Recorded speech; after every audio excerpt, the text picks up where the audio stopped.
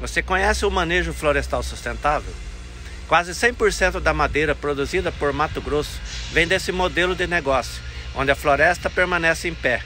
O CIPEM, com o apoio da Federação das Indústrias do Estado do Mato Grosso e outros parceiros, realizou o Dia na Floresta, no município de Sinop, onde convidados de todo o Brasil puderam conhecer as etapas do manejo, desde o processo de escolha da madeira para o corte, medição, colheita, transporte e chegada na indústria de processamento. A indústria de base florestal do estado do Mato Grosso é referência para o Brasil e para o mundo, produzindo de forma legal, em harmonia com o meio ambiente e gerando desenvolvimento econômico para todo o país. Se você não é inscrito nesse canal, se inscreva. Meu nome é Claudinei Freitas. Ativa o sininho, compartilha, dá seu like e vamos ver a reportagem.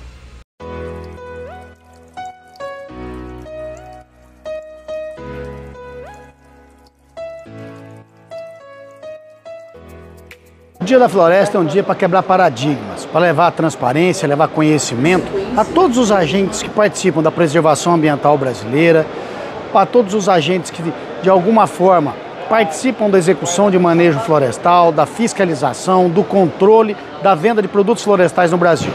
E possam, a partir daí, fomentar ainda mais a aplicação dessa grande ferramenta de preservação ambiental, de preservação das florestas brasileiras, que é o manejo florestal sustentável. Esse é o nosso terceiro evento que a gente vem realizando. A gente já fez outros eventos, onde trouxemos outras autoridades, mas hoje aqui tem os países, principalmente as embaixadas, os países importadores de madeira nossa aqui do Mato Grosso. Então nós estamos trazendo eles para conhecer o manejo florestal, conhecer a sustentabilidade do setor e também ver na prática a cadeia de custódia, a rastreabilidade dos nossos produtos de Mato Grosso. Porque aqui nós vamos mostrar na realidade como funciona um projeto de manejo florestal sustentável.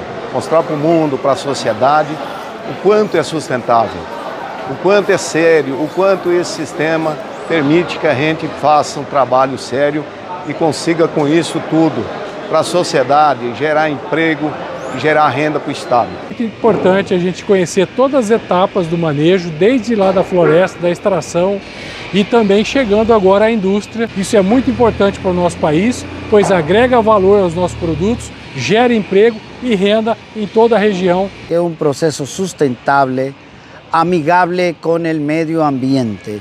É uma indústria que não é uma indústria para um, cinco, dez anos, é um proceso industrial con la protección de vida para que la generación de madera no se detenga nunca y pueda, pueda seguir contribuyendo al desarrollo de un importante estado como lo es Mato Grosso.